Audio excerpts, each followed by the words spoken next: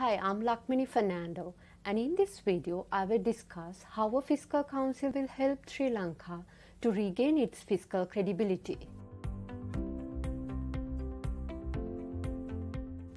Actually, Sri Lanka is a development success story.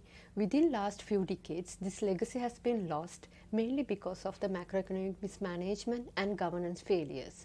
Now we are witnessing widening budget deficits, increasing public debt that go beyond 100% of GDP and revenue collection that is not even sufficient to cover the recurrent expenditures. Institutional reforms are widely acknowledged as necessary condition to restore public finances.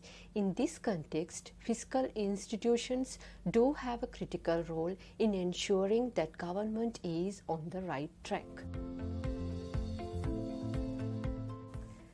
Fiscal councils are publicly funded institutions that are staffed with technically competent persons.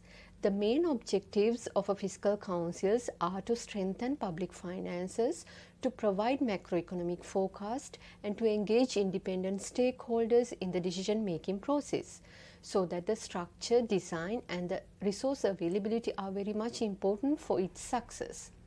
The effectiveness of a fiscal council depends on the legal and operational independence so that the political commitment is a must for the success of a fiscal council.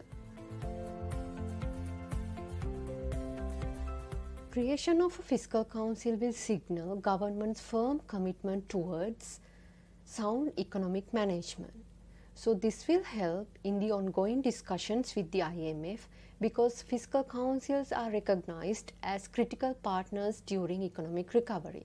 Therefore, establishment of a fiscal council will definitely help Sri Lanka in its efforts toward creation of a sound and resilient public finances.